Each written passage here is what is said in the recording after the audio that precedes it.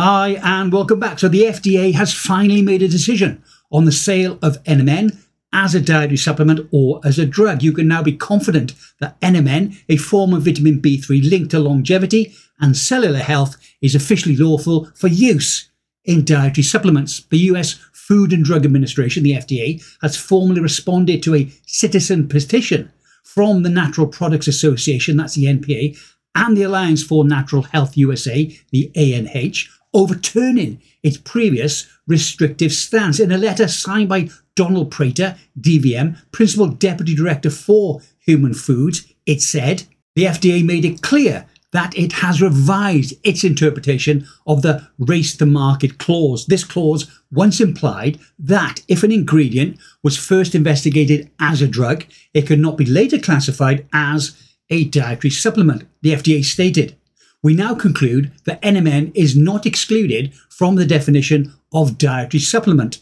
Specifically, although NMN was authorized for investigation as a new drug and substantial clinical investigations of NMN have been instituted and made public, NMN was marketed as a dietary supplement in the United States before such authorization. The FDA also acknowledged evidence showing that NMN had already been sold as a supplement in the US as early as 2017. The FDA admitted its earlier position that a supplement of food must have been lawfully marketed before a drug approval was not the best reading of the law.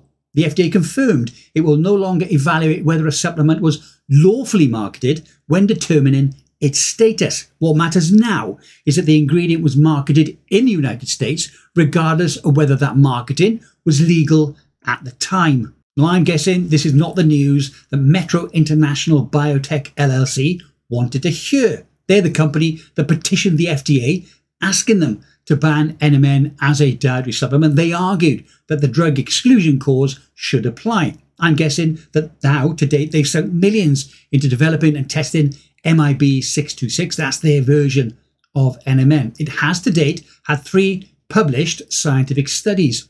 Metro Biotech is currently working on a novel NAD booster that they call MIB 725. Let's see if that work continues after this latest, latest ruling from the FDA. Now, it's obvious why and what Metro Biotech is all about. This company that was co founded by David Sinclair is trying to develop an NAD booster that they want to classify as a drug. And I'm guessing as a drug, it's going to be more expensive than the current NAD boosters that are on the market. But obviously, there's going to be a downside to this latest FDA ruling. With this change, I'm assuming that platforms such as Amazon will start to sell NMN again. This means that hundreds of scammers will return to that platform too. It's important to know what you're putting into your body, so please make sure you're buying NMN or any health supplement from a reputable supplier.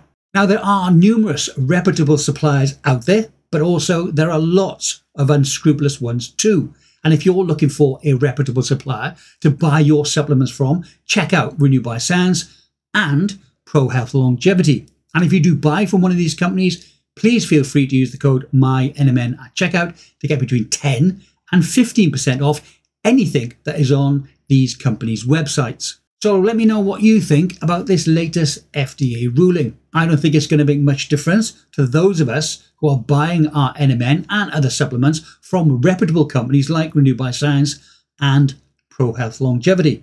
I do think it's going to affect Metro Biotech to some degree, and time will indeed tell. It will, unfortunately, also affect those people who believe the unscrupulous advertising and unbelievably low prices that will no doubt re-emerge if the likes of Amazon and eBay start letting anyone sell supplements on their platforms again. Remember, if it looks too good to be true, it most probably is.